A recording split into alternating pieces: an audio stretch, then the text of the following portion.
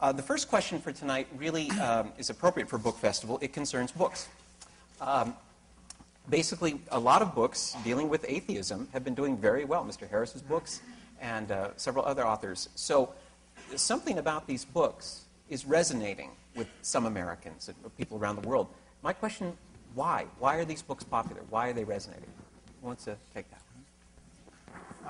Um, am I on? Am I mic'd? Okay. Um, well, I, I, think it's. I think they're resonating for, for two reasons. I, I, really can only judge on the basis of my motive for writing them, but um, or the writing the two books that, that I wrote. Uh, clearly, 9/11 did something to our discourse. The, the liabilities of having people uh, be certain of paradise uh, became exquisitely obvious to many of us. Uh, and then the Bush administration uh, and the, the, the fact that we have a president who begins every day on his knees in prayer and has Bible study, I think, has made many people uncomfortable. So that, I think, is the um, certainly motivates a, a, lot of readers. But I think it's easy to to draw the wrong message from the fact that there are multiple new so-called new atheist bestsellers because between me and Dawkins and Hitchens and Dennett, I think we've sold something like three million books. Uh, but of course, many people have bought all the books, so it's, there's not three million readers there. There's maybe a million readers, and someone like Rick Warren sells a million books a month, and that's just one pastor. So it's, it's still a very small um, segment of the, of the, the book buying population, and uh, as we all know, uh, not so many people buy certainly hardcover books. So, Rabbi, what do you think?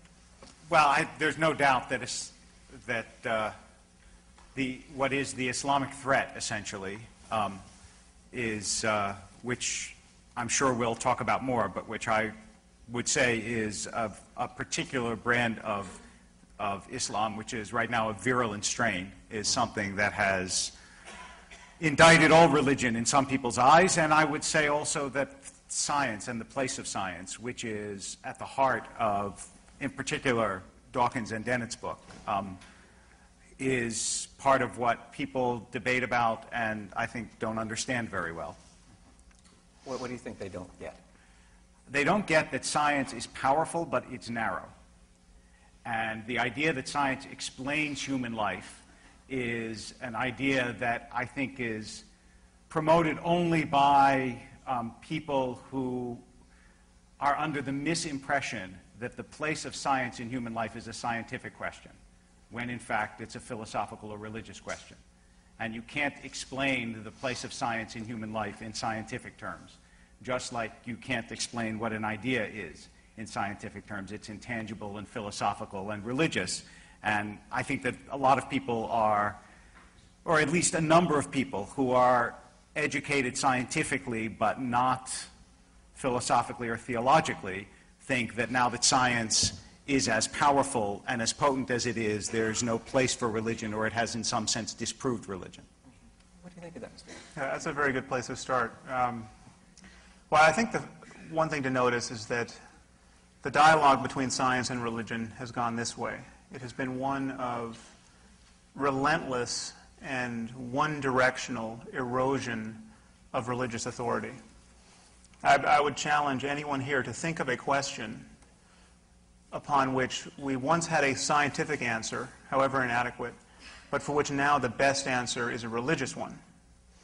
Now, you can think of an uncountable number of questions that run the other way, where, where we once had a religious answer, uh, and now the authority of religion has been battered and nullified uh, by science and by moral progress and secular progress generally. Um, and I think that's not an accident. Uh, and the, the one area where religion still seems to uh, hold its ground uh, is now under assault by science, and it's, it's very good that it is under assault by science. And this is the whole issue of morality and human happiness and what constitutes the good life. Uh, these are, and let me just tell you why I think this is a scientific question. Even the place of science is ultimately a scientific question. Um, because surely there are objective facts to be learned about the basis of human happiness. The, the moment you recognize that morality and spirituality and, and, and value is a matter of, of happiness and suffering, and that we're moving suffering uh, in the direction of happiness, uh, then you, you, realize that if there are objective facts to know about human happiness, and surely there are, uh, facts about the way that genes and ideas and uses of attention and economic systems, uh, social structures, all of these conspire to make us happy or miserable. Uh, and uh, again, the, the, the, it's true that, that scientific discourse is just in the beginning of addressing these issues. Uh, but it, it's not too soon to say that love is better than hate in terms of ethics. And we're, we are studying these things at the level of the brain. Eventually, we will understand the brain basis of love and hate and the kinds of, of, of mechanisms, both cultural and, and personal, that uh, ramify these states of mind. Uh, and there will be right and wrong answers. And we'll find, for instance, that honor killing is a bad strategy if you want to raise compassionate men. Uh, we know that already, but we'll, at some point we will know this biochemically. Um, what do you think of that? I, I, well, first of all, I, boy, I can think of a couple of uh, examples, although I don't think that that's crucial. But for example, Marxism, which was the scientific study of societies and was thought of as a science. Nobody was, thinks that's science. Nobody thinks it is now. You said an answer now that uh, people once thought was scientific but no longer do. That's a good example. Oh, no, no, a religious I, answer. Let me a just, religious let me answer. Just clarify my question. But though. a religious answer to life is much better now than this, than this poor science that was Marxism, or for that matter, I would say, than the not not very good science that was Freudianism. But go ahead. Oh, well, I, I agree on both counts. It's just that the point to make is that the the antidote to bad science or failed science or scientific incompleteness is good science and more science. It's not religion. I, I by the way, I'm, I want to preempt that answer for religion. That's exactly the answer to bad religion or poor religion or failed religion is more religion instead of saying that religion ought to be banished because, for example, people think mistakenly that good religion is flying planes into buildings. Um, but but I, I, I, also think that the, the way that you set it up at the beginning is not the way that it used to be or that it has to be. Hmm. That is, science and religion weren't classically in opposition, except in certain specific instances. And even those instances are much more complicated than we su- suspect. You know, Galileo and, Pope, and the Pope, Pope Urban, were friends. And there is a friendship issue as well as a lot of political issues that were involved in Galileo's eventual recantation. It wasn't just there was faith over here and there was Galileo over there, when in fact there were people in the church who agreed with Galileo. And Newton was a devout Christian, as you may know. And the relation between science and religion wasn't classically just oppositional. It was sometimes oppositional, but more often synergistic. And people believed that they coexisted, as they should. Um, but, but you can't answer the question of what's a good life scientifically. You can't. I can Why say not? I can say what will make you feel a certain way. But whether that's good, I'm, let me give you an example. You talked about happiness. Mm. There are some people who've lived very unhappy lives that religiously you would evaluate as very good lives. I mean, Rabbi Akiva at the end of his life was not happy. Right? I mean, he was, he was martyred. But if you were to bring Rabbi Akiva back to life and say, would you say that the end of your life was good or bad, he would say, I have no doubt, painful but good. And if you said to him, but what about scientifically? He would say, well, scientifically, I was being burned alive. But you can't evaluate the, my life scientifically. And in fact, I just want to give one little sermonic coda here. Anybody, one? just one. Yeah. Just one for the moment. Okay. How could you know me so quickly? I did. Um, so, um, anybody who has children or who believes that they're doing something important in this world or who works in difficult circumstances to bring water to villages or food to hungry people would say that the idea that you could scientifically demonstrate a good life is worse than empty. It's a mockery. Okay, well, that, that's good. I, I see that the term happiness is a little too effete to capture what I'm after here. I, I'm talking about well being. I'm talking about all of the factors that we recognize that, that correspond to the good life. And, and I'm certainly um, open to the possibility that we have yet to fully characterize the good life religiously, philosophically, and certainly scientifically. I mean, this is an open conversation. The question is do you ever have to believe anything on insufficient evidence to explore this terrain, to become truly. Uh, what is sufficient evidence? Well, it's, it's the kind of evidence everyone in this room demands on any subject other than religion. I mean, there, there are nuances here. We can, we, it, it takes a lot of work to, to rise to the standard of scientific evidence, but um, science is the one language game we are playing where we get really straight and rigorous about what constitutes evidence, where there's a process of peer review, uh, where you have a lot of smart people trying to prove you wrong, and where you actually win points by proving yourself wrong. Mean, this is not what religions are up to. Religions are not uh, falsifiable in this way. And I think you used a phrase that I, I thought was very um, useful to frame this. You, you talked about what uh, used to be and what must be, I think was your phrase. And I think we should reflect on what used to be because our religions come to us out of a tradition, in many cases, of, of of human sacrifice. I mean, this a human sacrifice was virtually a cultural universal. This is where we come from. These are the roots of religion. This is it has been not uh, it's been by no means rare for a child to be born into this world only to find that he's being raised by religious maniacs who think that the best way to keep the sun on its course or to cure the king's venereal disease is to bury or butcher or burn him alive as an offering to an imaginary god. This, this, this is not just the Aztecs, uh, this is the ancient Hebrews.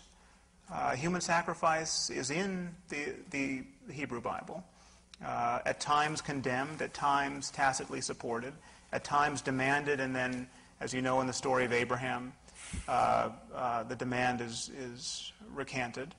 Um, this is we, we come from, tradition, from generations of people who did, who did not know a damn thing about the causes of events in the world that really concern them the spread of disease, the, the failure of crops, the weather. Um, and so religious discourse has changed. We're not sacrificing people uh, happily now, but it has changed by virtue of progress from the outside. I mean, just certain modes of operation are no longer tenable. When you can get a weather report on the evening news, you no longer have to sacrifice a child in a vain attempt to control the weather. So, yeah, I did have a question. I want to go back to what you said at the very beginning that religion is the one thing that we believe on insufficient evidence. Um, and I want to ask you, and I, am only asking this a little bit tongue in cheek, but on what evidence do you believe that life is worth living? Well, I just think that's a, a misconstrual of how we talk about beliefs. I mean, you're not, this is, this is something I get in another form quite often. I wrote this book entitled The End of Faith, and people attack me um, essentially with the line, but you need faith to get out of bed in the morning. You know, we, uh, our lives are built on faith. That's not the kind of faith I'm attacking. I'm, t- I'm talking oh, about. Oh, but you, but you said explicitly that religion is the only thing that we believe things on insufficient evidence. Well, so I'm it, asking you if you yeah. believe that life is good or worthwhile on the basis of scientific evidence. Because if you don't, then I would amend your statement to religion and everything else that is of central value in our lives, we believe on evidence that is not susceptible to scientific proof. That right. Go. No, I think, it, I think you're equivocating on the, the, the meaning of the word believe. But we don't, I don't believe that life is worth living. That's not what gets me through my day. I am operating as though life is worth living because I am, I am, I am seeking various states of, of happiness. I'm avoiding suffering. I'm moved by compassion. I have these states in me which presuppose the reasonableness of not killing myself at the end of the day. Which is not so different, by the way, from a religious person who would say, this is the, you know, religion is not belief in a proposition. It's an orientation towards life. I live in the presence of God. That's how I feel. It's not that I, someone says to me, okay, here's all the evidence from column A and here's the evidence from column B. Now, which one do you decide on? That's not how you decide whether you believe or not in God. Belief in this sense is not a great word. I believe it the same way you believe that life is worth living. And you would never say, as long as somebody can prove to me that uh, I, I don't believe life is worth living scientifically, I may as well give up. So you're, you're, it's a disconnect. It's like saying, you know, um, I don't know, it's like, it's a category mistake. It's like saying of, you know, that wall, how, um, how jealous is it? It doesn't make any sense. Yeah, no, you don't no. evaluate a religious I- I belief think I need to share- scientifically. I I think I need to share a comment that he wrote in The End of Faith. Okay. And I'd be curious to have you expand upon it, where you uh, wrote, There is clearly a sacred dimension to our existence, and coming to terms with it could well be the highest purpose of human life. Sounds very spiritual to me. Yeah, I, I, am, I part company with many atheists in that I'm interested in spiritual experience. I think there is, I, while I wish we had a better word for it, I think because that, that word we have to recognize carries a lot of metaphysical baggage, there is such a thing as profoundly transformative, meaningful experience that can be very hard won. I mean, you, can, you, you might have to go into a cave for a month or a year to have certain experiences. Um, and so the, the contemplative literature is something that, that i I read and I take seriously. The problem is, it is all so riddled with religious superstition and dogmatism uh, that you really do have to be a selective consumer of this literature. And every religious person takes his peak experiences as confirmation of the, of the metaphysics in which he is seeking those experiences. So the, the, the Muslim thinks that this is the, his feelings of, of rapture during prayer. Thinks, he thinks this confirms the, the fact that, that Muhammad was really in his cave talking to the Archangel Gabriel and that the Quran is the perfect word of God. And I, I mean, your, your claim that, that religion is not a matter of believing propositions is just manifestly false when you're talking about what billions I didn't say religion, believe. I said belief in God. Well, belief in God. I mean, It entails belief in certain propositions, but belief in God isn't a propositional belief the way I believe that this, you know, table is hard. Well, for, for you, a b- belief in, in um, the divine origin of certain books figures rather centrally to Christianity, Judaism, and Islam. Yes. Uh, this contail, entails a variety of claims which are on their face at odds with science. Um, the belief that, that Jesus was born of a virgin may be a, a, a cherished claim for most Christians. It is also a claim about biology. I mean, this is why you can't keep religion and science apart. They are, they, they, they, their truth claims cannot be disentangled, which is what you want I don't do. want to, I don't want to spend my night defending the virgin birth, but, uh, um, but it's now, I have actually, my, now I have my story. yeah. right, yeah, exactly. It, it would be But it actually is not a claim about biology. What it is a claim about is the idea that natural laws, which themselves, by the way, are an article of faith. I mean, we know since Hume. No, you- you that's, can't that's a very slippery ca- and dangerous Yes, slope, but it's true. I mean, you can. uh, It, they are. You don't. You can't say. I, and this is this. I didn't start this. Hume did, and he was a good no- atheist. You'll, you'll Um, notice nobody however, says this in an airplane at 30,000 Having feet. said that, yeah, well, it is. I didn't say that it's not an article of firm faith, but it's still an article of faith. Um, that those laws can never be suspended is seems to me, on the face of it, a claim that's unprovable. And there's no reason why a Christian can't say that the laws of biology have been suspended once in history or will be suspended sometime in the future. That's not the same thing as a. That, that doesn't. No, that- but that is, to me to if be a conflict claim, between. it is a claim Yeah. about physics and cosmology. I mean, it, it, it, it touches all, all of science. And so, I mean, for instance, the idea, the, this Yeah. expectation on the part of something like 59% of the American population, according to Gallup, that Jesus will return to earth to judge us. This entails claims about the, human survival of death, the apparently the f- human flight without the aid of technology. I mean, this is what people are visualizing. Uh, this is Do you think, I'm curious, do you think that the idea of human survival of death is an anti scientific claim? Well, in, in the naive form that, that most people entertain it, it clearly is. Now, I, is Well, they don't think that their body doesn't disintegrate. They assume that it does disintegrate. What they assume is that there is something inside of you that is eternal, which Yeah. I assume as well. And it doesn't seem to me anti, doesn't seem to me anti-scientific. Well, it's anti-scientific if you um, believe that you have good evidence for that. I mean, this, this, is, this is what's anti-scientific. When your certainty, when your convictions don't scale with your evidence. I mean, I'm actually open-minded on the survival of death. I, I Right, don't you know. say about reincarnation, that there could even be evidence for it in your book. Yes, I mean, I, I can easily tell you what would constitute evidence. I'm not saying this evidence exists, but um, I mean, I can tell you what would constitute evidence for the truth of Mormonism. It's, it's, it's just not forthcoming. This isn't, we're not going to get political on this. uh, I mean, this, uh, there, there are all kinds of scientific things you can say about religion, which religious people tend not to want to hear. I mean, you can say, for instance, that Mormonism is objectively less likely to be true than Christianity. Why can you say this? Because Mormonism is just Christianity plus some rather stupid ideas. I mean, this- Let me, let me ask you seriously a question that's not, this question is actually not a gotcha at all. I'm, I really do wonder whether you believe that it is possible, since you say something about the, the viability of intuition in uh-huh. your book, I wonder if you think that it's possible for people to know things, or, if you don't want to use know, to believe true things and feel like they have evidence for true things that is not accessible through reason? Or is that not possible?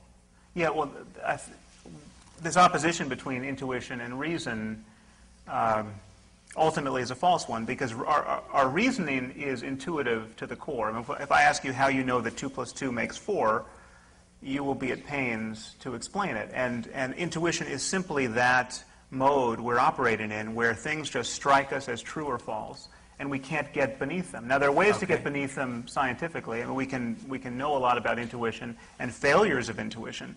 Um, and we use certain intuitions to uh, uh, get around other intuition. I mean, just take a very simple example. If I asked you uh, um, how, if you folded a newspaper a hundred times, how thick would it be? Most people intuitively think, well, I can do that, and it's going to be, you know, as thick, as thick as the Sunday Times or a brick or something. But it's actually, you know, six billion light years across.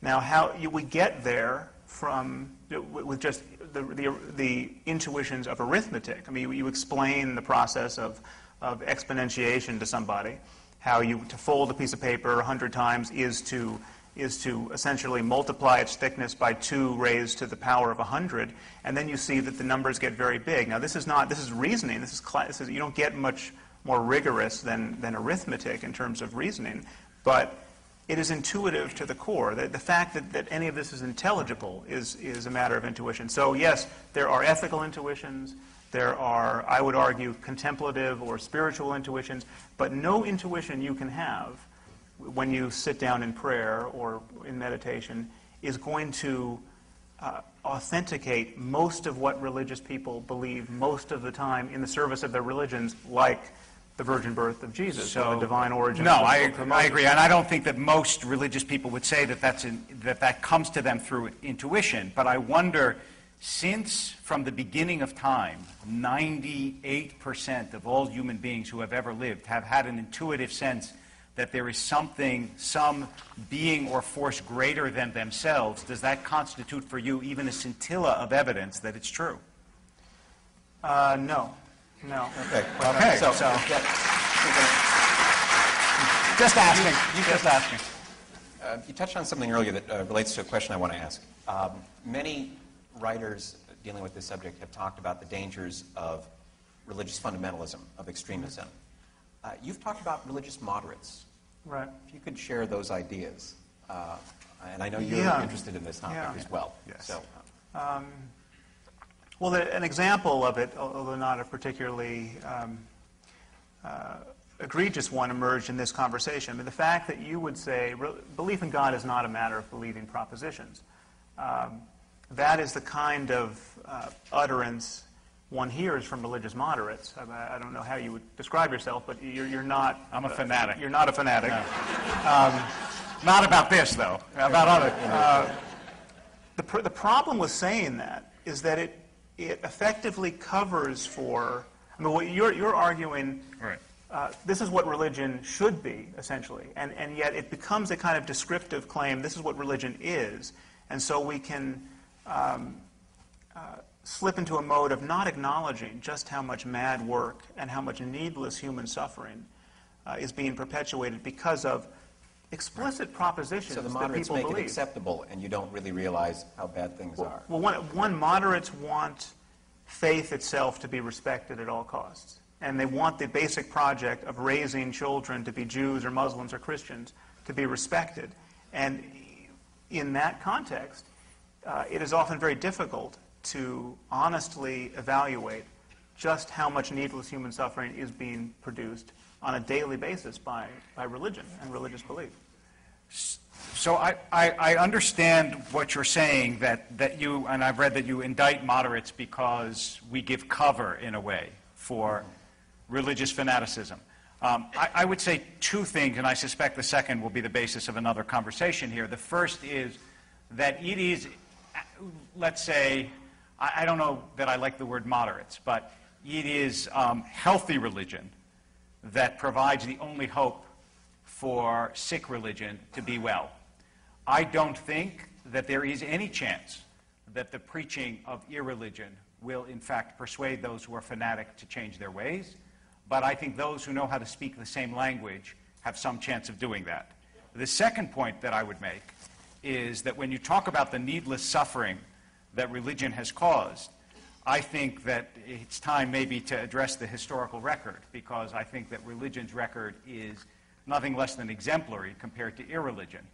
And so I would say that if you're going to try in this world um, to make a, uh, a decent world, that historically speaking, although I won't speak for the future, um, you are much better off training people to believe that they are not the most powerful most knowledgeable, um, most decisively uh, able to come to conclusions about the world creation, but that in fact a certain amount of humility, both about what they know and what they do, is appropriate, and that humility But, um, but how, Rabbi, how do you have tolerance? comes from. But how yes. do you have tolerance and faith coexist?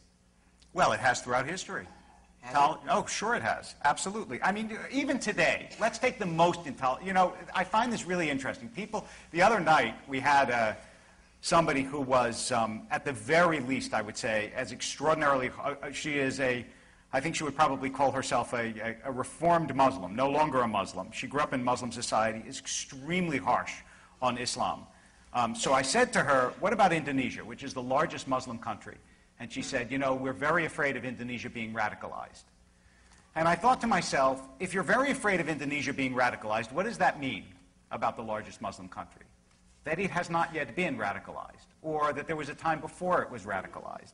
And the idea that if somebody is the member of a certain faith, such as Christianity, which introduced the idea of toleration to the Western world, that therefore they can't be tolerant is clearly contradicted by much of history. Um, and it seems to me that if you want to find intolerance, you look for atheistic regimes. Would you rather live in North Korea or South Korea? South Korea is Christian. Don't North answer Korea is that question. communist.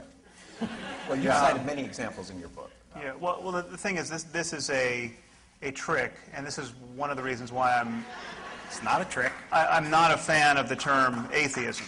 I mean, the, a- atheism is a, is a term totally without content. It's like being a non-astrologer. I mean, we, we don't have a word for someone who's not an astrologer. We, and, we don't, and if astrologers suddenly uh, became ascendant in our society, we wouldn't need to invent non-astrology as a discipline. We could talk about reason and science and evidence and common sense and bullshit and put astrologers in their place. And I, so it could be with religion.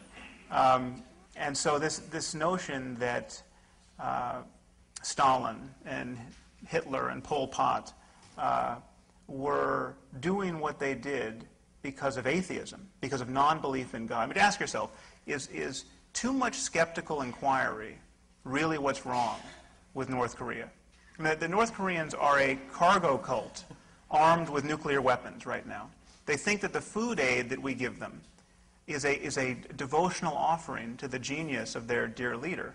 They are systematically impoverished, both physically and in terms of information. They they, they, too much knowledge, any knowledge is too much knowledge uh, in North Korea. This is not a, a, a paradise of reasonableness.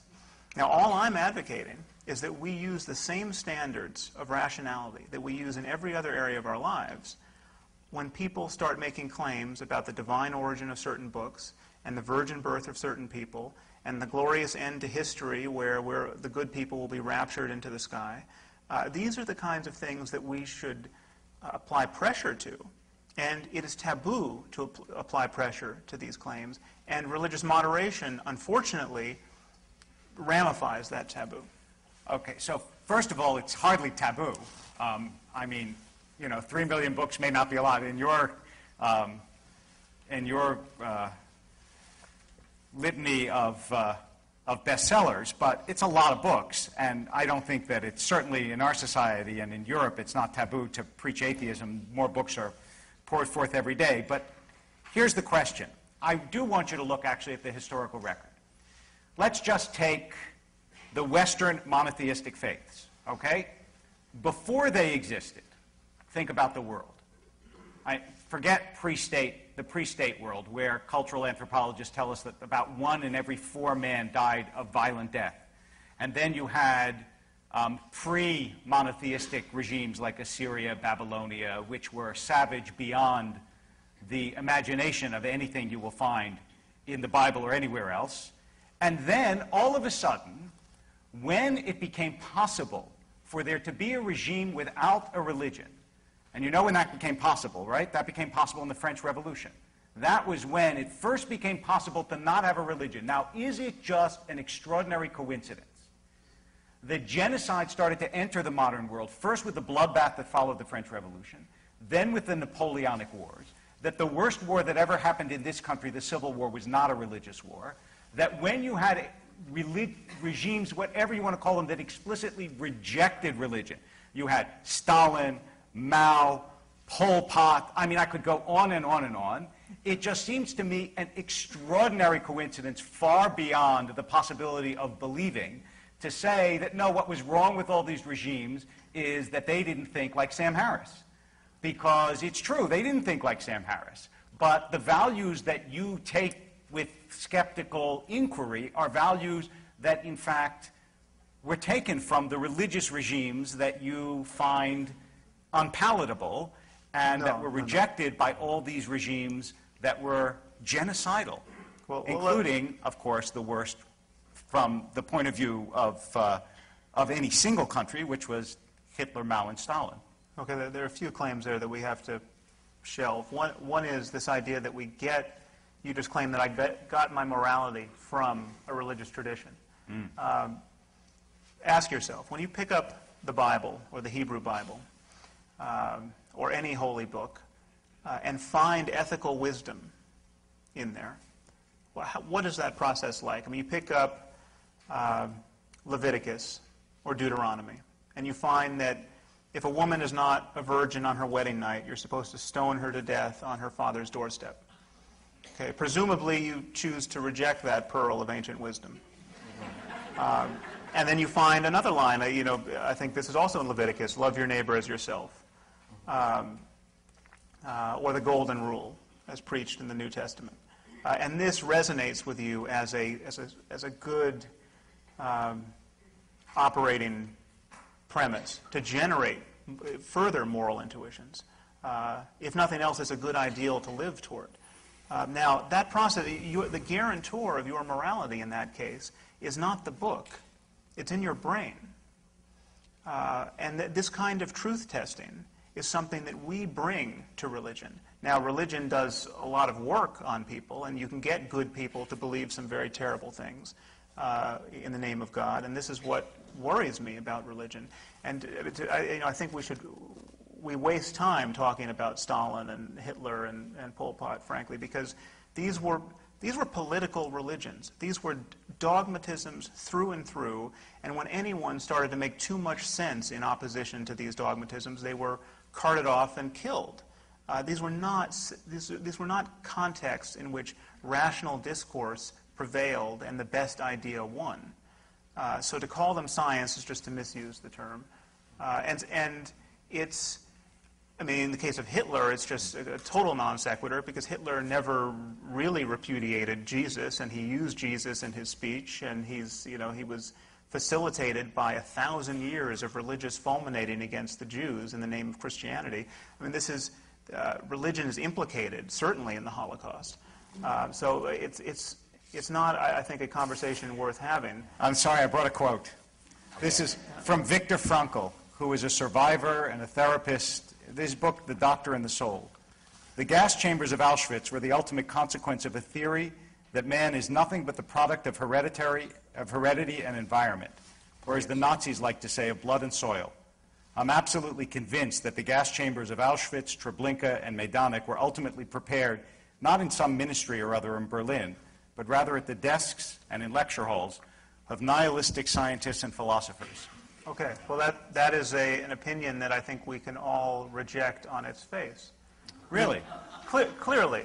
Th- This, was- this, do you really think, you, you think Auschwitz Yes, is the I result absolutely. of I think that the about the rejection, yes, the rejection of transcendence and the idea that human beings are all heredity and environment and breeding and eugenics and social Darwinism was absolutely a much greater contributor than the the all the Than the hatred of rejected Jews? than the rejected Christianity. Well, it wasn't just it wasn't just the destruction of the Jewish people. It was don't forget World War II, right? This was much wider than the hatred of one people. But yes, why, why, why was it focused on the Jews? In part because the explanation that Hitler gave wasn't theological. The explanation that he gave was racial. That's had true. it had it been theological, I would say yes, theological. But strikingly, But weren't the all these? The, the history of there was, anti-Semitism. there was a long history of anti-Semitism, but why did it never explode into genocide in a Christian Well, in a Christian government? It, it, it was, first of all, it, the, the, the history of the Jews in Europe is a history punctuated by, rather ceaselessly by No pogroms question. and murder that was explicitly religious. I mean, you have something like host desecration. I don't know if you know about this phenomenon that um, I came across while researching my first book. The, the communion host is thought to be, once blessed, is thought to actually physically be the body of Jesus. And therefore, uh, if it's mistreated, this is, you know, you, you can literally, in torturing a cracker, you are torturing the body of Jesus. Uh, there are accounts of whole villages purged of Jews who were accused of having mistreated uh, crackers.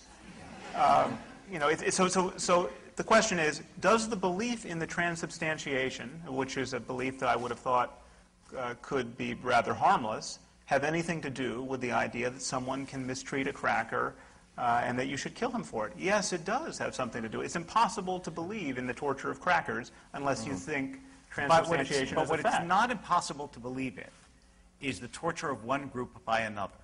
And that is, Granted, as yeah. you know, virtually universal in human history. And it's so given the immense question- energy by The question religious hatred. arises, the question arises, in what sort of regime are you likely to be able to get a society a la America where that is minimized? And it seems to me quite clear that if you look through history, although the depredations of religion, we could spend all night talking about the terrible things that have happened in the name of religion. But that would have much more power if you took essentially good people and made them rotten, as opposed to taking people who are predisposed to both good and evil actions and given them um, distinct identities one from the other nation states, religions, neighborhoods, so on. And what you get almost inevitably is the action of one group against the other. And in fact, the only transcendent idea that I can think of that really does tie one person to another is God, which is why when you actually filter that book through a person, as opposed to, say, just opening Deuteronomy, which hmm. no tradition that I know of suggests is a way to learn morality, but when you filter it through a person, you get someone like Isaiah who criticizes Jews on the basis of the Bible that he knows far better than we, or Hillel who, when he's asked to summarize an entire tradition, knowing it intimately and intricately, doesn't say, go persecute someone. He says, what's hateful to you, don't do to someone else. Because even though you can cherry pick lines that are both funny and destructive, the truth is that every tradition is not made just of propositions. It's something that's lived and is bred in you, and if it works well, produces magnificent human beings. Yeah, and, and the problem is there are many gods and books on offer. Yes. And they make incompatible claims about Yes. how we should live in this world. That's Uh, so, so uh, again, the, the, the, the hope, I mean, you're proffering a hope for uh, humanity, which is the right religion most of the time. Um, I don't know how this is going to uh, interact well with the, the spread of destructive technology. I, mean, I don't know how we're going to get to a future where uh, Muslims believing in martyrdom and Christians believing in the rapture will be a good recipe for good neighbors. Um, I, I, so I, I, I think that is a kind of a reductio ad absurdum of this, of this more religion argument. Um, again, I reject the analogy to the, uh, the most repressive totalitarianisms of the 21st century. This is, I'm simply arguing that we need, we, we need to cease to reward people for pretending to know things they do not know.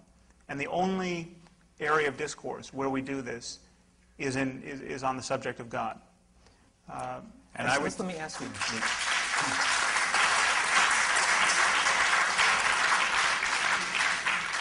On, on the issue of uncertainty, I'm curious how you two reacted to news this year. Uh, this is the year the world learned that uh, Mother Teresa, Calcutta, suffered her own crisis of faith. And uh, she wrote some letters which were published. And in one of the letters, she wrote the following I am told God loves me, and yet the reality of darkness and coldness and emptiness is so great that nothing touches my soul. Mother Teresa. Yeah. Did, were, you, were you surprised? What did you think Uh, of that? Well, there was a certain gratification that spread in the atheist community. I can imagine. um, ill, ill-concealed. Um, I mean, the, the one thing I would say about that is that uh, the other thing that, that Mother Teresa's letters uh, articulate is the process she went through uh, of confessing her doubts to her superiors. And at one point, it was recommended that she view all of this as a sign that she was sharing Jesus' suffering on the cross. Um, now, this is kind of a brilliant moment of hermetically sealing a, uh, uh, a worldview. Um, and so when I wrote about this, I said, ask yourself, when even the doubts of experts are used to confirm a doctrine, how could it possibly be disproved? And this is, this is, you see this all the time in religion. You do. And this is I grant you. precisely what you don't see in science. that's right. Um, but that's not a bad thing.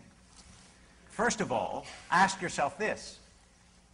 Even despite her doubts, if Mother Teresa weren't a devout Christian, do you think that she would have spent her life among the lepers of Calcutta?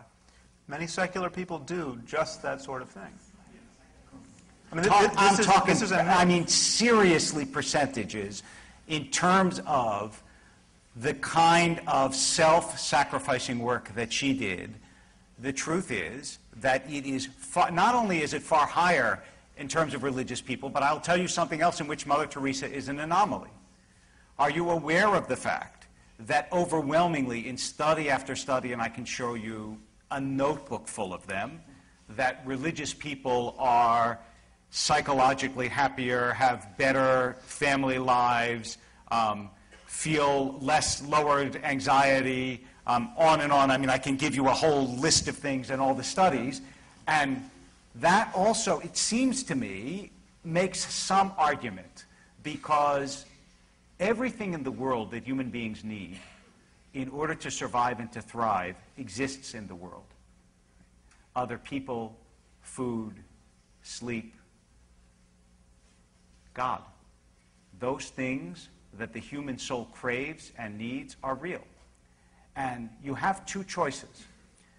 It could be that we were tossed up by an accident of ancient chemistry, in which case it's remarkable to think that this product of evolution by blind forces could really understand the world around us. I mean, why in the world should science work if your brain is purely a product of evolution? Right? There's no reason why you should understand the world or be able to understand the world. Or it is possible that it, you're not just a product of blind forces. And neither, despite the darkness that she felt in her soul at times, was Mother Teresa. Which is precisely why we not only can understand the world, but we can understand more than the world. Because our origin is of the world and also not of the world. And the reason that our minds can do something more than just operate on instinct is because we operate all the time with things that are not physical, right? Ideas, words. I can say something and change the physiology of your brain. Now, how is that? Unless there's something more to your brain than physiology. Okay. So, Now, This is, this is, I've kind of let you run on there for a while because, um, and awfully, awfully Christian of you there. Yeah. too. Um, I, I certainly, I didn't mean that uh, uh, disparagingly, No, but you were essentially talking the talk of science, or attempting to talk the talk of science. You're talking about Mm, no. the basis of ideas in the brain, or they couldn't possibly be rooted in the brain. They're non-physical. I mean, Yes. that, that's prejudging the, the, essentially the mind-body problem. Yep. Um, you're talking about the, the uh, improbability of all of this emerging out of uh, the early chemistry of the Earth. I mean, don't we need an intelligent designer of some kind to do that? These are scientific claims.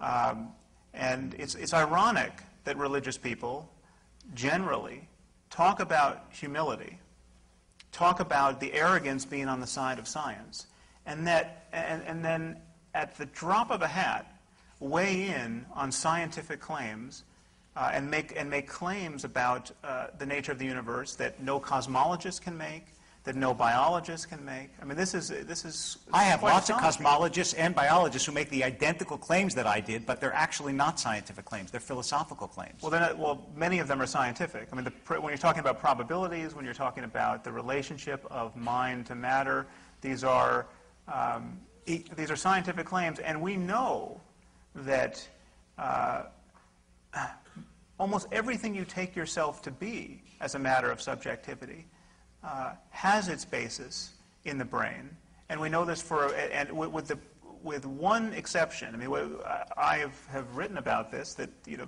we have not reduced consciousness itself to That's brain a function. fairly formidable It's- exception. it- It's, it's huge. It's huge. But everything else you take yourself to be as a matter of mind, your ability to recognize faces and speak English and form concepts. Um, I mean, people have this, this naive idea. When, when you think of yourself as a soul that may yet survive your death, you are thinking of yourself very much intact. I mean, the, the stories of going into the tunnel of light and recognizing grandma uh, entail a fair amount of mentality. Mentality we know can be disrupted at the level of the brain uh, because we, we see these neurological complaints all the time. Uh, and the, the proposition is that if you damage a brain a little bit, you destroy English the, and uh, an ability to recognize faces. But if you damage it totally at death, lo and behold, the soul, still able to recognize grandma, will rise off the brain uh, and, and go into a tunnel of light. These are, these are scientific claims, and they are profoundly naive. It's not a scientific claim. It may be a scientific claim to say that my ability to speak English can't be disrupted by disrupting my brain. But the essence of what a human being is, which is the one thing that you say we don't have a scientific explanation for, is consciousness. Well, I and uh, it's, it's not just human beings, it's dogs, it's, it's we, don't Although know, we very- don't know yes. where consciousness Yes. emerges in, in the natural We don't know order. where. We don't know where it emerges, or self-consciousness, although self-consciousness is probably different from consciousness in animals. That would be my guess. Um, but it isn't just that. The morality, consciousness, all these things which are susceptible of scientific exploration are not scientific, are not susceptible of scientific explanation because they're not scientific questions. When you ask, for example, You don't think depression could be susceptible to a scientific sure, account? I absolutely do. So It where, where do you draw a line between a, a mental state like depression Right. and one and the joy? existence of a mental state and the existence of a sense of identity that makes you a human being that could transcend your death. The point is that if you believe in that existence of, of identity as a human being, it can even be diminished in this world, but it doesn't mean that it's diminished forever. In the same way that it didn't exist before it came into this world, which to me doesn't mean that it didn't exist in some state that we don't understand. Right? Before I was born, I wasn't conscious of me. Does that mean that I really didn't exist at all? That, to me, is a religious claim, not a... you, you don't exist. Many people claim to find it impossible to believe or to imagine that they won't exist after death. Um, just try it for a second. I mean, you, you imagine that everyone in Paris right now is getting along fine without all of us. I mean, none of us are in Paris. We are really, really materially absent from whatever is going on in every other city on this planet right now. Uh, you were absent for all of human history before your birth. Uh, the idea that you, that you simply can't imagine not existing after death is really kind of a, just for lack of trying, I think. Uh, and, so, and this, granted, this is terrifying. And I think it's, it's terrifying not so much in our own case, but it's terrifying in the case of those we love. And we are, we are terrified to lose the people we love in this world. Um, that is an objective fact, if there, if there is one in this area. Uh, and religion is the strategy we have adopted to keep that terror at bay. So largely. if it's not religion, then what do you have? Well, it, it, it's not that you necessarily have a replacement for everything religion does on every question. I mean, there's a, you don't replace the belief in Santa Claus with something that does exactly what the belief in Santa Claus did. You know, equally consoling, equally motivating on Christmas morning. I mean, it just it doesn't happen. Except that it's just not true that religion is the strategy that we've adopted to deal with that fear. Religion is infinitely more than that and more complicated than that. Religion is also the strategy, if you call it a strategy. I mean, religion is also the recognition that the world is filled with an order that is inaccessible to measurement and reason. It's the recognition that human beings have a certain purpose in this world.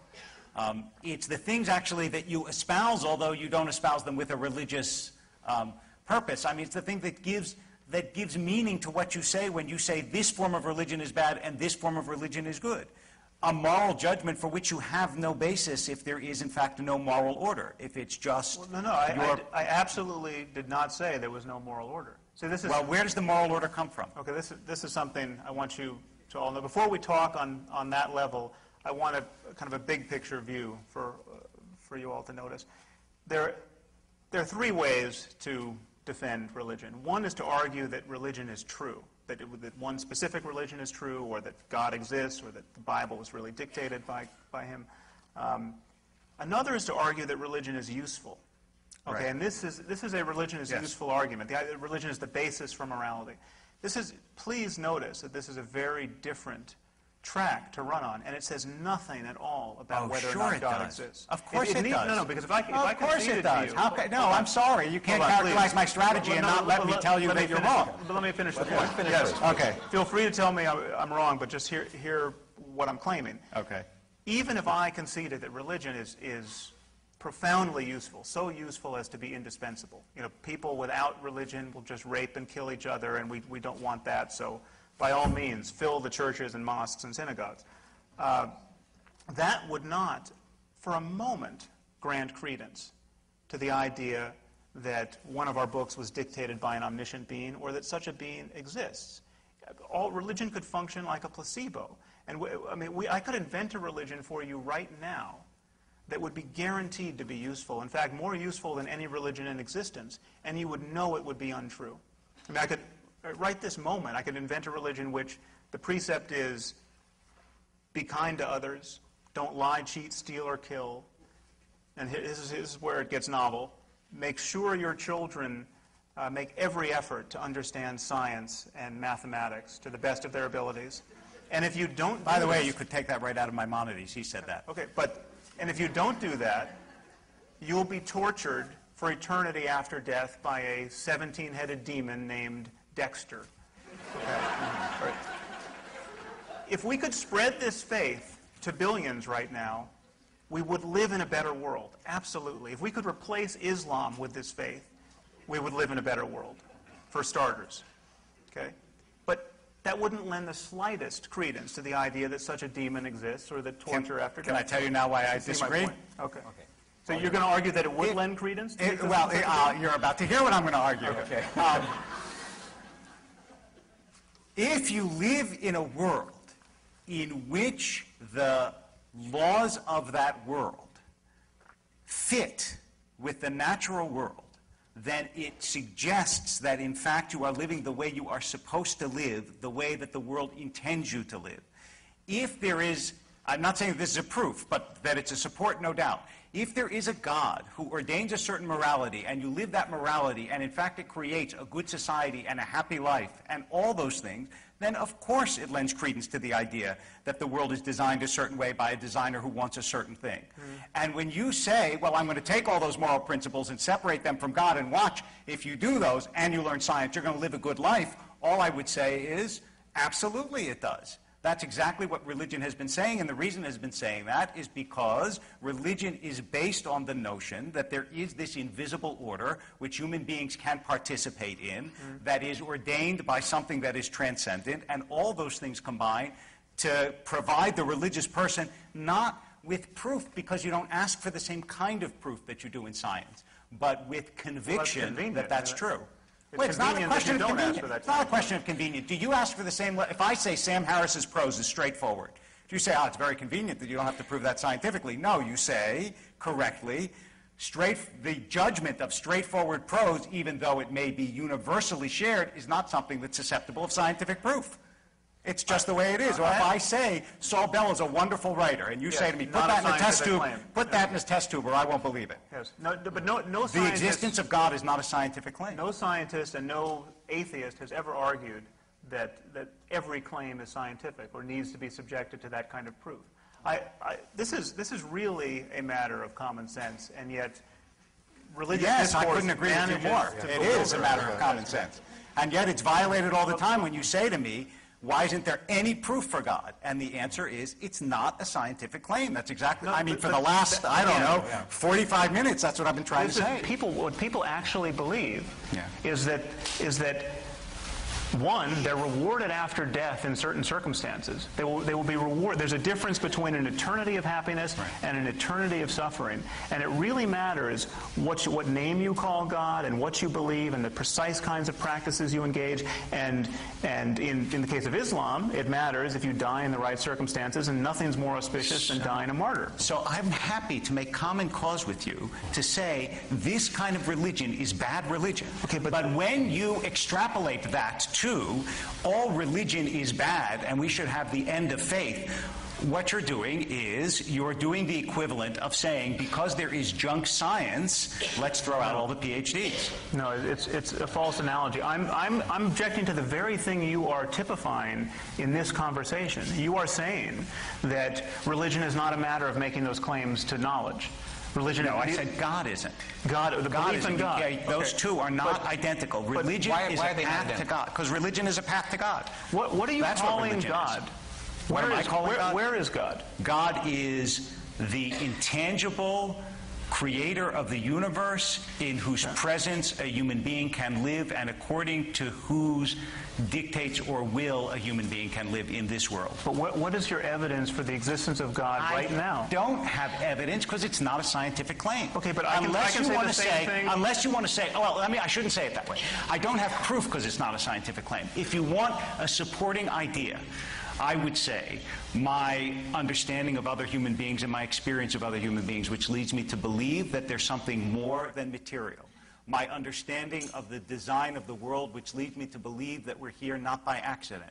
My appreciation of the fact that human beings, even though we are made of stuff, have consciousness, which leads philosophers like Galen Strawson to assume that even rudimentary material has consciousness hmm. because he can't explain how consciousness arises. Right. My experience of religious human beings and the way they live and the fact that they live in harmony, to my perception, with an invisible order that gives them a life of a certain sanctity and This is, holiness. this is a general claim. That- Religious you're human asking- beings I mean, generally live in harmony with, with No, I, I said my experience of certain human beings. I mean, I can keep going if you want me to keep going. Well, no, I I think you've put enough on the table. that- Okay, but all, none of those are scientific evidence. Ma- All Many, of those, ma- many yeah. of those claims trespass upon the territory of science overtly. I mean, the, the claim about Mm-hmm. your, your understanding other human beings being suggestive of a divine artificer. Mm-hmm. Is that a scientific claim? Absolutely. I mean, Extraordinary. it- it- is your understanding of mathematics also suggestive of a divine art, artificer? No, it has to do with my experience. Your ability to learn language? Do you understand? It has to do with my experience of you. When I'm looking at you right now, Right. you may assume that what I see is a material, but that's not what I see. And it's not what I believe. And I I- think that I understand it's not what you there's believe, I- something in you that is more than you believe. I really think so. this is Now, a, if you want, if you want to make that, if you want to make that a scientific claim, you can, but I'm telling you it's a metaphysical claim, and to confuse the two is a mistake. okay, you, you can add any metaphysics you want Thank you. in, in that, by that means. I mean, I, I can say, I, you know, I see you as um, reincarn- a reincarnate personality, and I think you were probably uh, I was someone famous. on Atlantis. make- Right. Yes. Don't make me like a washerwoman in a Pe- previous people, life. th- people do this all the time. I mean, you, you can broadcast. I mean, this is this is constrained by our common sense in every other domain of discourse. I mean, just take for example, the people who think Elvis is still alive. Okay, what what's wrong with this claim? I mean, why is this claim not vitiating our academic departments and corporations? I mean, I'll tell you why, and it's, it's very simple. We have not passed laws against believing Elvis is still alive. It just, it, the problem is that whenever somebody seriously represents his belief that Elvis is still alive, in a conversation, in, in, on a first date, at a lecture, at a job interview, uh, he immediately pays a price. Yes. He, he pays a price in ill-concealed laughter. Right. Now, now, surely you can agree with them That, on that, that is a good thing. Now, he, now, then he could rattle on about this is not a scientific claim, uh, this is a matter of faith. You know, when I look at you, I, I see you, you might be Elvis. I mean, he, he, could, he could do this. Except that, you know, this is, this is like the, the, I mean, almost all the books, I don't believe it's in your book, to your credit, but the, the Bertrand Russell, the Bertrand Russell teapot analogy, Yeah. right, which Dawkins is so fond of, um, that there might be a celestial teapot circling the globe. I think it's in my book, too. Is it? Shame on you. Um, if you make a claim about the existence of a physical entity like Elvis or a teapot, yes, that is, evalu- that is evaluated the way you evaluate any other physical entity. That's why I keep saying, and I will say it again, that it is not a scientific claim to say that I believe you have a soul or that God exists. If it were a scientific claim, then you would be able to evaluate it the same way you could get a microscope, uh, telescope and look for a teapot. But you can't. Let me ask a question that deals with, um, change gears on you guys here. Yeah. Um, a question that deals with human creativity. Okay. Um, religion has inspired a lot of great works. Look at the world of music, uh, you know, physical, uh, the uh, visual arts. Okay, let's just for a second say the world comes over to your way of thinking. Right. How does that affect the arts? Music, literature, The Simpsons. You know, um, I'm, I'm just curious. What what what would uh, what would that Well, what would the the world, fear- creative world be yeah. without that? I, th- I think it's a, it's a false fear. Um, the idea that we wouldn't find any reason to build beautiful architecture or uh, paint nice paintings, uh, but for indulging certain religious superstitions. Um, it's just not, it's, it's, I think uh, Feynman once wrote that he was a poor poet who must fall silent when he finds out that the sun is actually a massive sphere of hydrogen fusing into helium.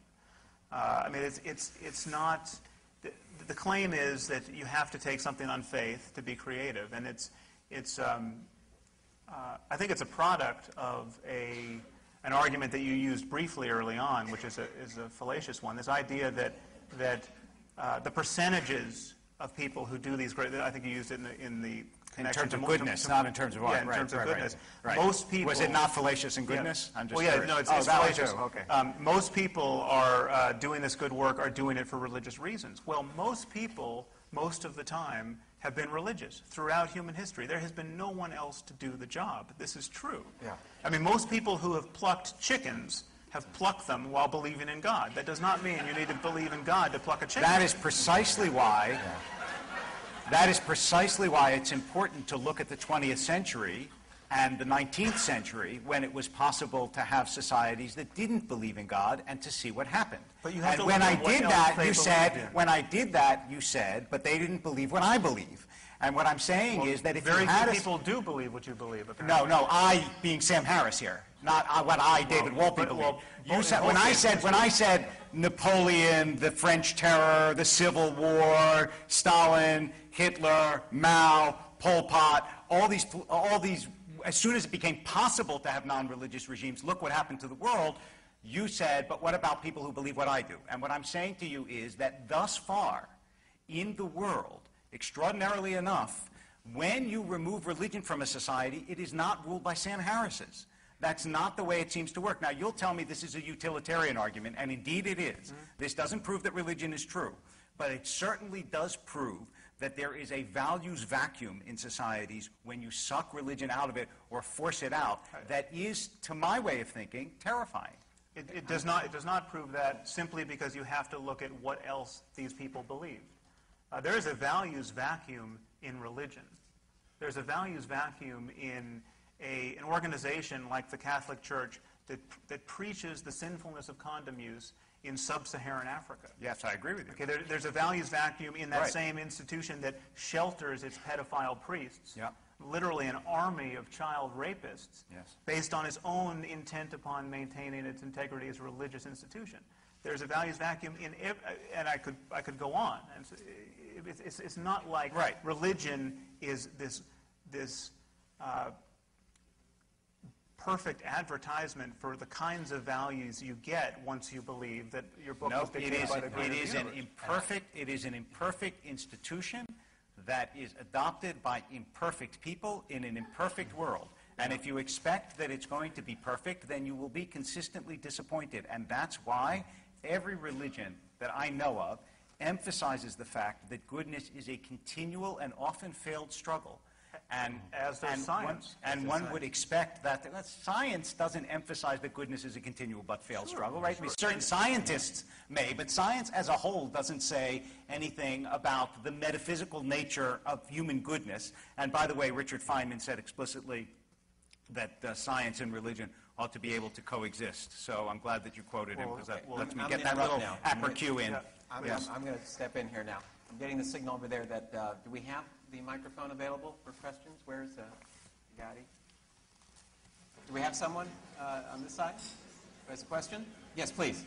Rabbi Wolpe, at the beginning of this discussion, Sam Harris talked about the Bible and how human sacrifice is uh, pervasive in the Bible and how the, Hebrew, the ancient Hebrews practiced it, but you didn't respond to that. No. And I wonder what uh, your response would be. Sure. I, I want. I didn't say that it was pervasive. I want to, don't want to. Uh, the answer is that human sacrifice was actually was pervasive around the. Uh, the civilization of the Bible. And in fact, Gehenna, which is the Hebrew word for hell, is based on the fact that in the valley outside Jerusalem, that's where the pagan peoples around the Israelites did sacrifice children, which gives you some sense of the meaning of sacrificing children in Hebrew um, tradition.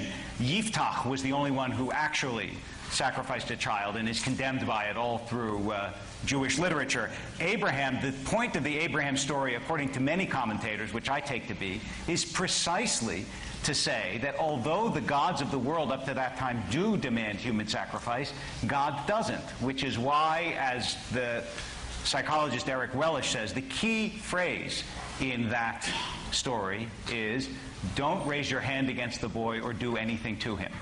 Right? That's what the angel says to Abraham when Abraham raises the knife. And that's the key message. So to say that the Hebrew, that either the Hebrew people, the Israelite people, or the Bible advocates human sacrifice, and I'm not putting that in your mouth, but to suggest that is, uh, is it's just a travesty of the Bible. Well, I'd add a few codas there. A, the picture is not quite that rosy. First of all, the, the Abraham story does not end with any uh, resolute condemnation of human sacrifice. There are a few lines where God condemns human sacrifice in, in Deuteronomy and uh, elsewhere. Um, uh, there are a few lines, with a few moments where he uh, tacitly rewards it in the in the sacrifice of Jephthah's daughter. You might know that story. That's what I yeah, just mentioned. Okay. Right. Um, there are, there's a place where, where God claims to have uh, gotten the pagans to have, this is in Ezekiel, he's got the pagans to practice human sacrifice so as to uh, further defile them. And we might question the morality of God on that. You might, point. but that does suggest clearly that in the mind of Ezekiel, human sacrifice is a terrible thing. Yes? It, it, it go, it's, it's by no means as clear as you would want to be. It is the most terrible thing. It's a needless horror imposed upon by ignorant people on ignorant people. And In other words, that sacrifice No. which they did not practice and condemn Well, no, no, is a did. mindless horror by ignorant people on ignorant people. They, first of all, they, they, they, they practice it. They, they got the substitution of animals. Right. The best, the best God could think of was to substitute animals for this blood sacrifice. Uh, so, I mean, how many people in this room think animal sacrifice is somehow really as good as it gets I'm in just terms curious, of how many, spiritual lives? how many of you how many of you eat meat? Just raise your hand. And when that animal is killed for the meat that you eat, is it a sacramental thing that feels holy when you understand you're doing something about taking a life, or do you let the slaughterhouse just kill the animal and you buy it in Saran wrap? Just curious. Not so easy. Okay. Uh, question over here. We're going to go back and back and forth. Yes, sir. Mr. Harris, uh, you got pushed into a corner a couple times on the issue of utility, if not, if not on the epistemic issue, uh, and it seems like. Uh, for a bunch of reasons, including like building imperfection and so preventing scapegoating, uh, there is a degree to which it's tough to institutionalize skepticism.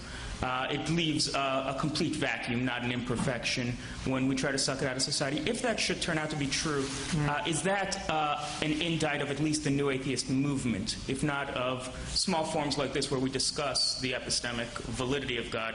Uh, is there an idea that we shouldn't be going outside telling people to be skeptical of God because it leads to a bad society? Yeah, no, I- it, it's not a. Um, uh, there are kind of two levels on which I heard your question. I mean, how did you mean skepticism? Skepticism in terms of In, in every time where uh, the rabbi said uh, atheist society has gone bad, you're like, yeah, that's not my atheist society. That's an ideology. Well, I no, no. The, the, the thing is, it- it's just a, it's a false analogy because what is what was operative there was not too much skeptical inquiry on the nature of God.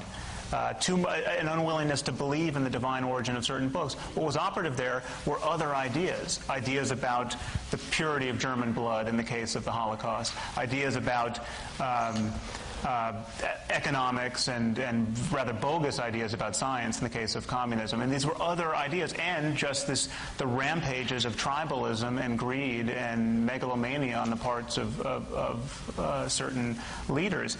It, other things were operative. It's not. I, mean, I want to make it very clear. I'm not holding religion accountable for all the bad things religious people have done in the world. I'm, I'm holding it accountable for all the bad things they only they only could have done because of religion.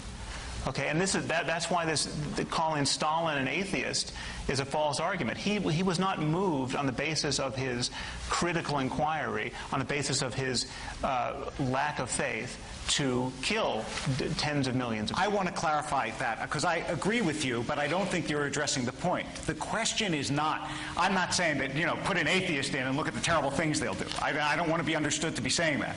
What I'm saying is when you remove religion forcibly from a society, the question, and then I think this is what the questioner is asking, is, I mean, history shows that you get so far a terrible result. So the question is, can you in fact institutionalize Yeah. this wonderful skeptical inquiry scientific basis that you assume But since he's not suggesting doing it, doing Yeah, it forcibly. yeah, no, nobody No, is, I- suggesting a program here. I'm suggesting No, a program. Exactly what we do. Yeah, worse. Um, i- It's exactly what we do with Elvis. I mean, or, or astrology, or anything else that that. Uh, gets laughed off the dais. I mean, just imagine if, or, or it's what we do with any other god but the God of Abraham. Imagine a, po- a political candidate who was who was forthcoming about his belief in Poseidon it would be a problem. He could not possibly get elected. Uh, it's not like someone has proved that Poseidon doesn't exist. I mean, that is Russell's teapot. You cannot prove that Poseidon doesn't exist. The question is, is there any good reason to believe he exists? The answer is no. It's the same answer for the God, God of Abraham. Okay, question over here, sir. Uh, This is for first Mr. Harris, and I guess uh, Rabbi Wolpe will respond. Uh, You had mentioned that there were three ways, I believe, to defend religion: the argument about truth, the argument about utility, but I didn't get I didn't catch the third, and I don't think you, you got to the third because I think uh, Yeah, the you third went off is- on some tangents, and I was curious what the Right, third right. was and uh, uh, what uh, what the response to that would be. Well, the third is simply to attack atheism essentially as another religion, to say that it's intolerant, dogmatic, Right. that, that, it, that it relies on on the same kind of. It's, Rick Warren said it when I debated him for Newsweek. You know, I don't have enough faith to be an atheist, he said, because it's it's the most gratuitous faith claim of all. It's the claim that the universe came out of nothing. Who could believe that? I mean, that's that's essentially the, the third. Question for that. Question over here. Yes, uh, Rabbi, before you were saying that um, your belief in a soul or belief in God is a, a metaphysical claim, not a scientific claim, which I guess means essentially it's a leap of faith. If, if it's a question of a, of a belief in faith, then, then why, in the words of Rodney King, can't we all just get along? Why are religions fighting one another, killing one another over something that essentially is a fairy Yeah, tale? it's a well. Oh, I was with you until the last two words. Okay, so let's let's put the fairy tale phrase aside. And look, I, this is this is a critical question, and I, I would give I would give two separate answers to it, both of which I think are complementary in both. First of all, it's very rare, not unprecedented. The Crusades are probably a precedent. It's very rare for religions to fight each other for no other reason than religion. You always got politics. You've always got Why- land. You've always do got really religious economics. Jews throw But- dirty diapers onto other Jews in Israel because they're not really No, no, no, no, we're not talking. We're not talking about disapproval. You're talking about serious conflict, right? And if you're talking about why Palestinians and Jews fight, why Muslim, why Pakistan and India fight, it's not just oh my God, they're religious. Okay, that's first. The second issue is I don't I, I don't believe is a religious issue. The second issue is an otherness issue. Anybody who believes that human beings are basically good and kind towards one another has never visited a playground, right? All you have to do, just go see how kids treat a kid when he first walks into the playground, because he's the other, right? And the challenge to religion is to transcend the treatment of the other, which at, at its best it does, and at its worst it doesn't. But the reinforcement of they're the other happens not only in religion. It, I mean, why did France and Britain f- fight a hundred year war with each other? It's not because of religion, it's because the damn Frenchmen and the damn British, right? And that's ingrained in us, and that's what we need to overcome. Uh, let's see. Question over here. Yeah. Mr. Harris, these are four uh, short quotes from your book, The End of Faith. While religious people are not generally mad, their core beliefs absolutely are. It is difficult to imagine a set of beliefs more suggestive of mental illness than those that lie at the heart of many of our religious traditions. Theology is now little more than a branch of human ignorance. And last, people who harbor strong convictions without evidence belong at the margins of our societies, not in our halls of power. So, with that said, how dangerous do you think our world is when our own leaders, especially our presidential candidates from a supposed superpower, profess such devotion to the supernatural? Um, well, clearly I'm worried. I mean, I wouldn't be doing that.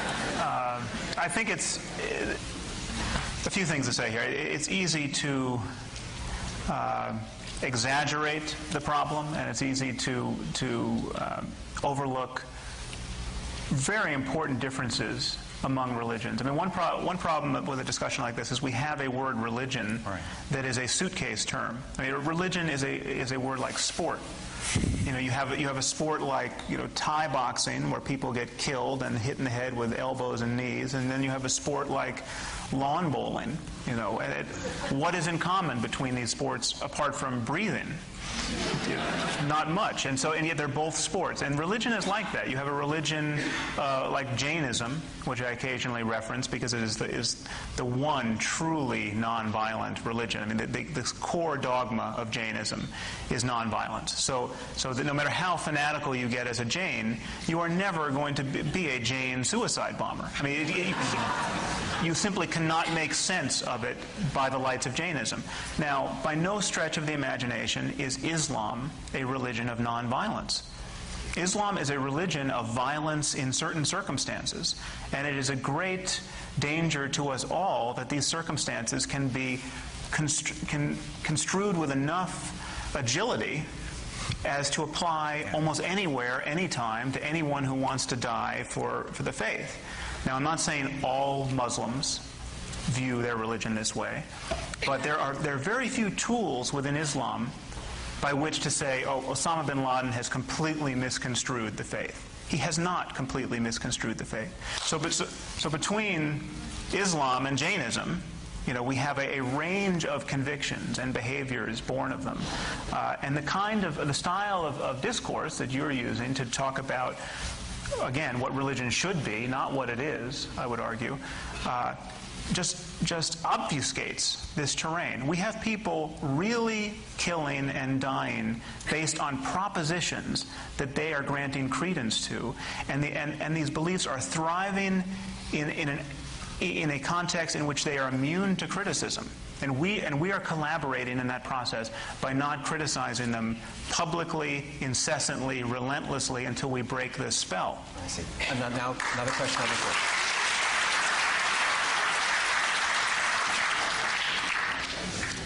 Volpe, I, I hear religion talked on many different levels tonight. And I, I, I believe you believe in God. But I'm wondering about the other religions.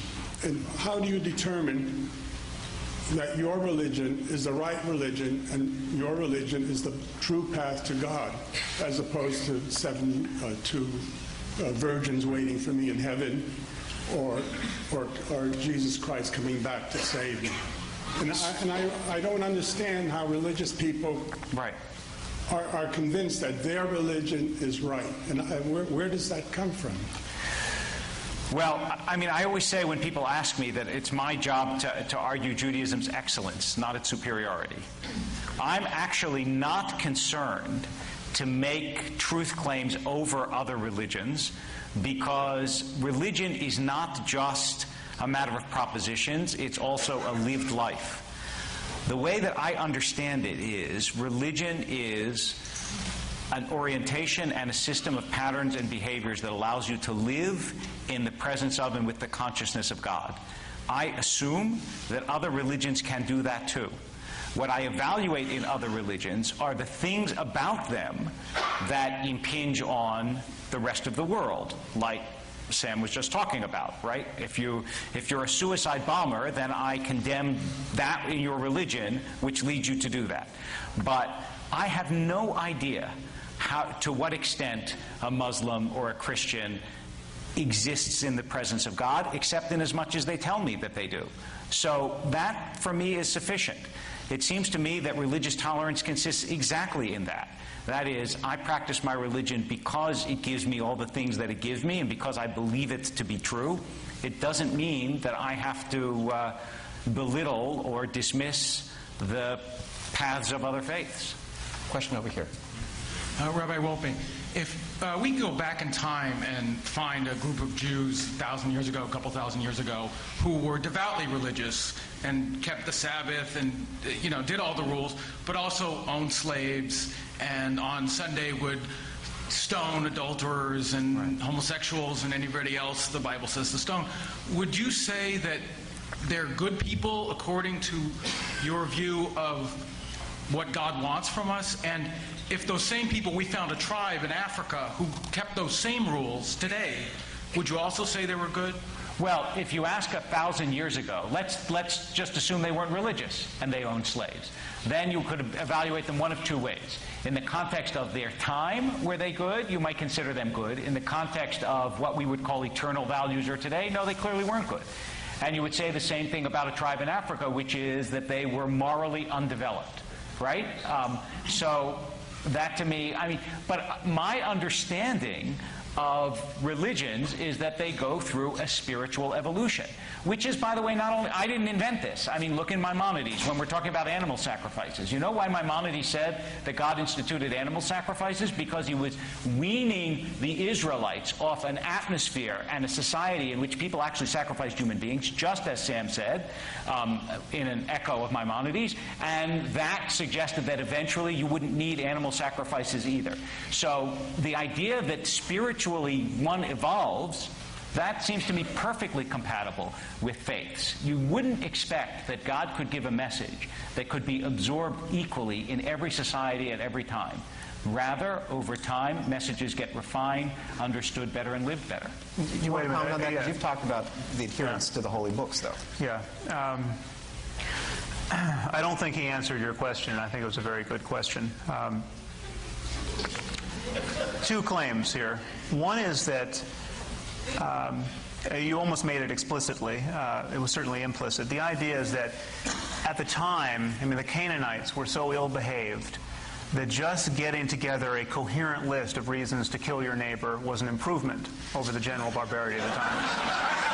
And that essentially this is what. Wow, that was is. implicit in what I said? That's Yes, yeah, remarkable. no, the, I- the- the idea that that, every, that these people are I'm just so much more suggestive than I realized. Yeah, I, well, no, I, I got to no, tell you, no. it didn't cross my mind, but go ahead. Feel, Go ahead. feel free to, uh, to Yes. amend your statement. No problem. Um, he, just did. But or, in fact, to make it again Yeah. so that it'll be understood. This is this is often claimed the idea that the Bible is just the best that was possible for that community in that period in history. You know, the fifth century BC was an age of such barbarism that Leviticus is really kind of a, it's like the you know the U.S. Constitution, a brilliant document.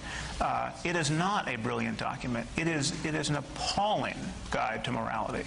Uh, and the, and just think of how good a book just think of how good a book would be if it were authored by the creator of the universe. I mean, there's not a single sentence in any book of the Bible that could not have been written by somebody living in the Iron Age. This is a problem for claiming that this is the best book we have. Uh, and, and so the, the, the problem is if you're going to live, if you're living by Leviticus and Deuteronomy, uh, you should be a good Jew for all time. Now, why are you not a good Jew for stoning, stoning your neighbor for working on the Sabbath today? You're not because we have different standards of morality and, and reasonableness. Uh, and and we, we happily we do, and those came from outside of religion. No, those did not. no. It, it- no, it's true. They were, they were all religious people Okay. dealing with the strains. Yeah, well, no, and- exactly. Well, what I would say is that that's only if you see any document as a static document. But if you understand, I mean, look, the, the rabbis, for example, and, and I didn't understand this to be your question, but I'm happy to answer it. The rabbi said about stoning a rebellious child, the rabbis, who believe me, their morality was not shaped by the Constitution, right? Their morality was shaped by the Bible, which is the world in which they lived. They said this never was and never will be. Now, why did they say that? Because their, con- their sense that God doesn't want a child to be stoned, that is, their judgment of the Bible arose from the Bible itself. Their judgment of morality is something that was steeped in those books and in that text and in the community that interprets that text. And to see it only as this is a sentence that the Bible says, and therefore I judge the book as to be illegitimate, neglects the fact that every religious text is a text that gets interpreted through a community. That's what makes a Do religious you, text. you actually think the book would not be improved if we just change that line about stoning your children to death for talking back to you? I would say that it, It wouldn't be more. The moral vision of the Bible would not be upgraded just I a mean, notch. no, I. Well, not the moral vision of the community that emerges from the Bible and struggled with the Bible wouldn't be. And if you ask me, I mean, although you're not asking me, um, I don't think I don't think that the Bible is a verbal record of the revelation of God to human beings. I think that it's a human product of God's self-revelation. So I expect there to be in that book lots of things that emerge from that society. That's exactly what you would Wouldn't, expect. wouldn't you be on firmer ground if it were just unambiguously the most brilliant treatise on morality and still just, just stood the test of time even today? I mean, just repudiated slavery?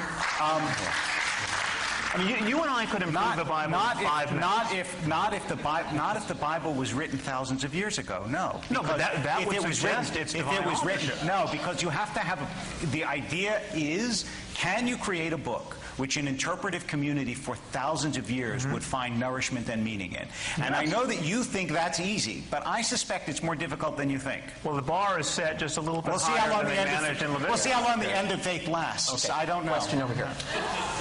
Um, this question is for both of us. It actually touches a little bit on what was, what was just said. Um, Yeah. I'm wondering, although uh, uh, you were talking earlier about healthy and unhealthy religions, and in that context, I'm assuming you were by meaning uh, fanaticism, and in more context, uh, Islamic fanat- fanaticism. Not just. Uh, not just, But primarily. Primarily and specifically. Um, and although there are very few Jews today who are stoning their children to death, uh, there are still is- Islamic. There are Jews who- Mus- yes. There are still Muslims who are killing people, uh, killing infidels.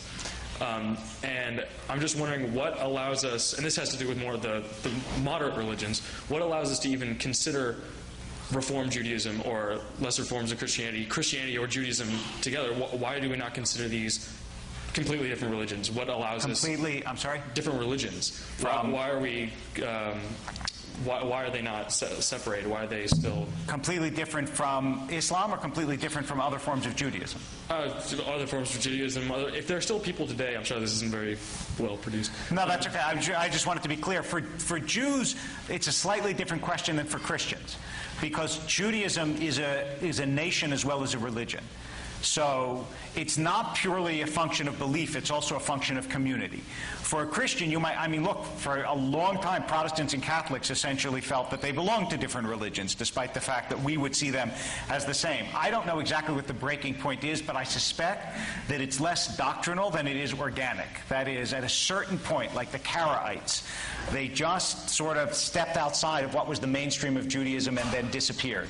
Whether that will happen to Reform Conservative or Orthodox Judaism, time will tell.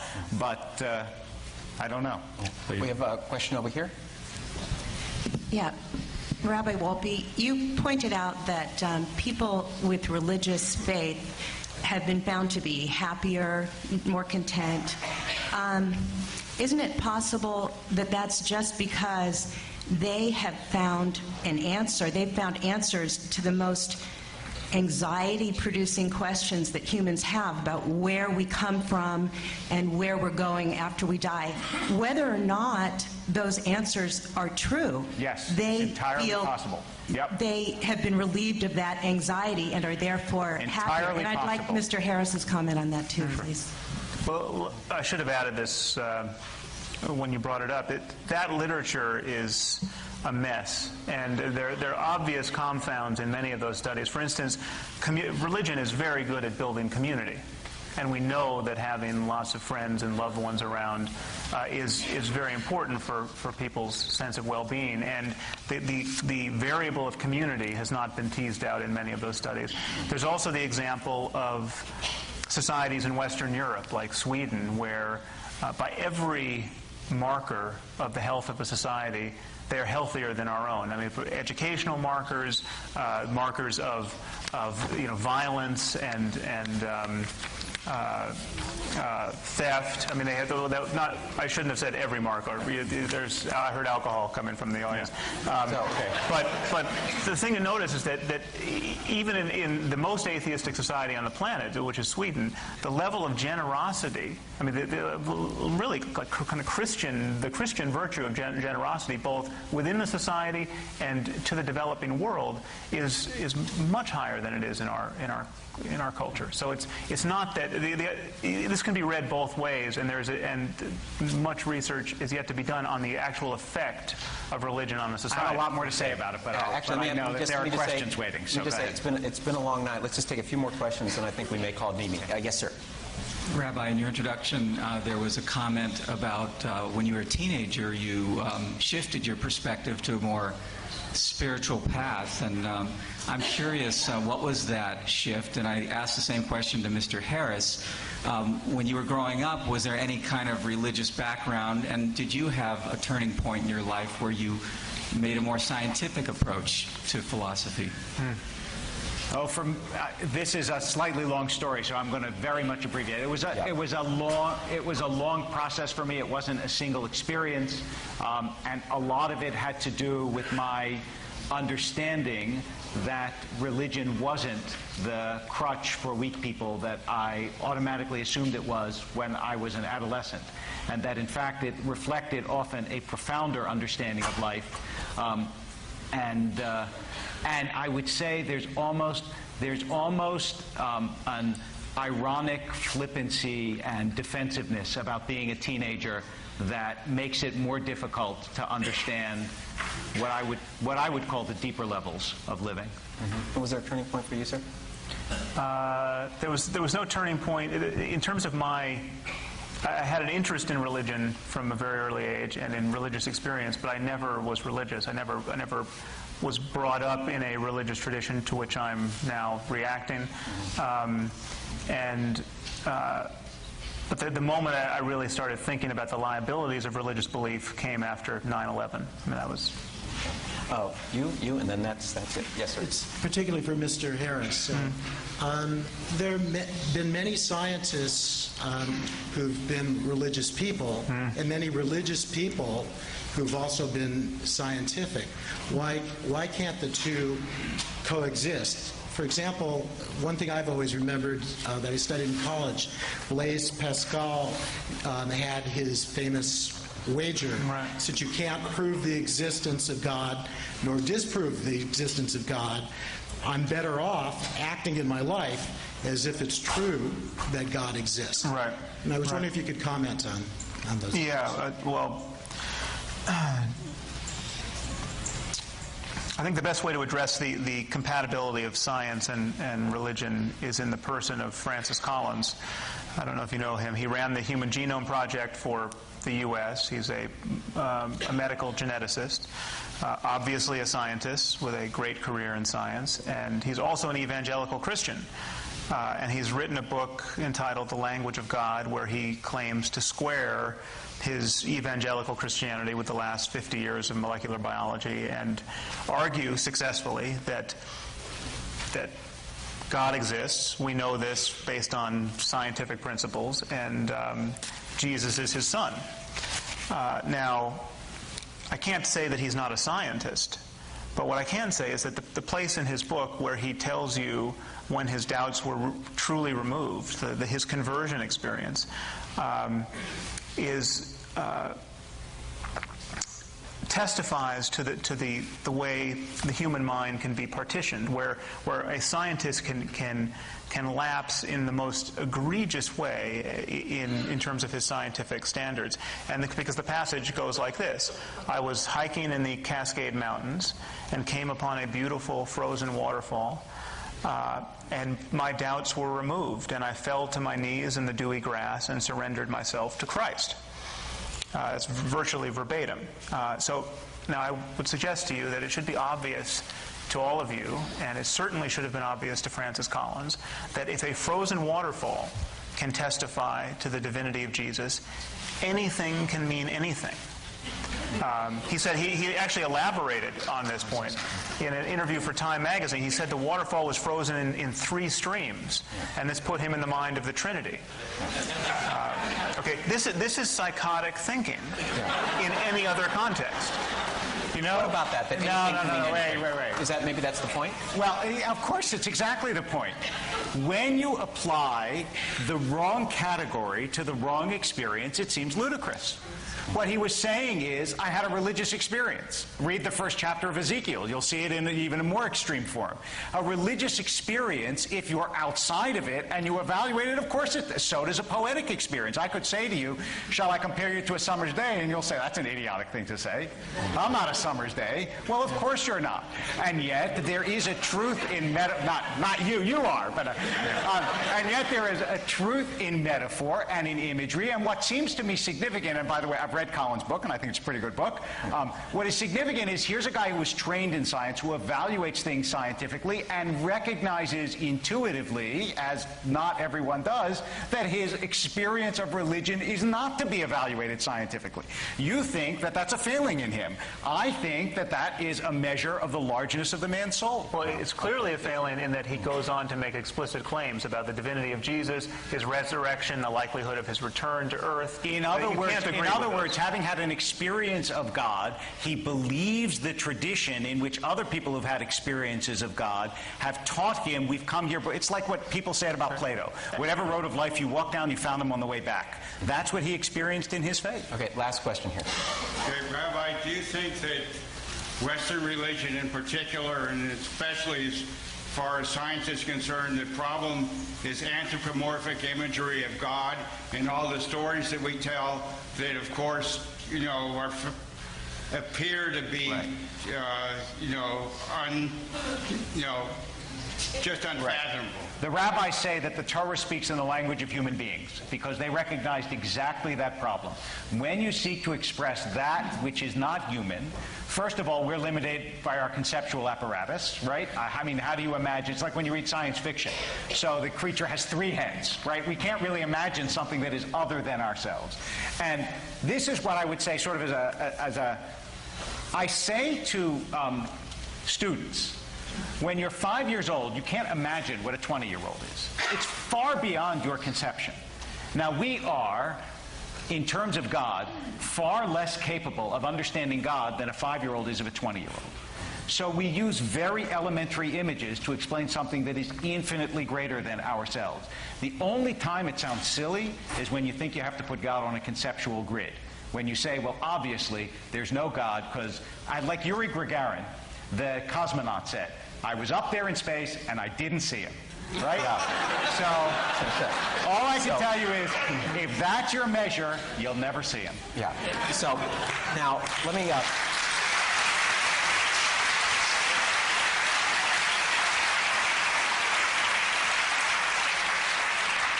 if, uh, if I were in my newsroom uh, at the LA Times, uh, they would say that I busted a deadline. But, um, but we've had a lot of fun here tonight. Uh, guys, I'll ask you to make any just final remarks in just a second. First, a few thanks. Uh, thank you um, to the university for organizing this event. And.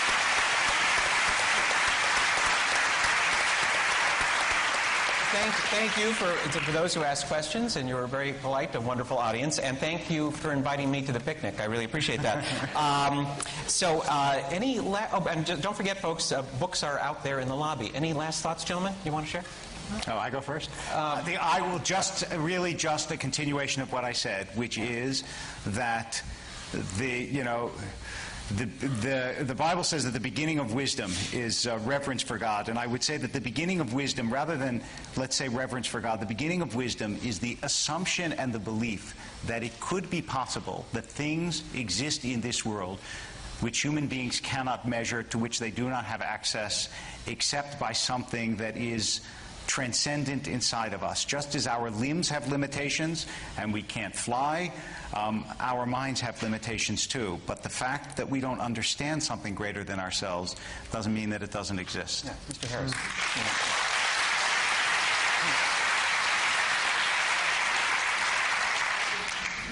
Any closing thoughts? Yeah, yeah. Well, I, I would say that the place to put our faith is in human conversation.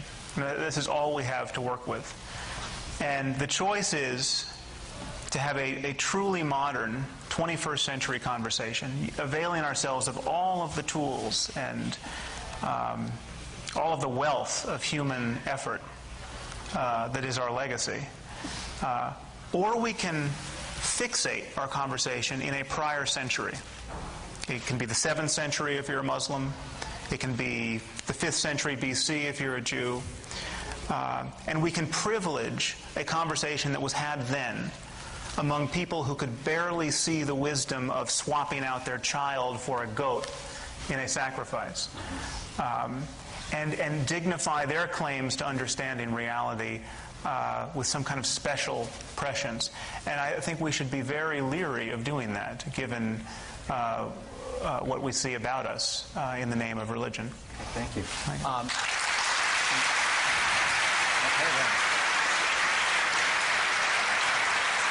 under, uh, I just want to say, uh, under the authority invested in me as moderator, I'm going to give the last word of the night to that great philosopher student of the human condition, Henny Youngman. And Henny Youngman, I just ran across this quote the other day. Uh, he had the following to say about atheism. He said, I once wanted to become an atheist. I give up the idea. They have no holidays. Let's thank our panelists. Thank you very much. Thank you.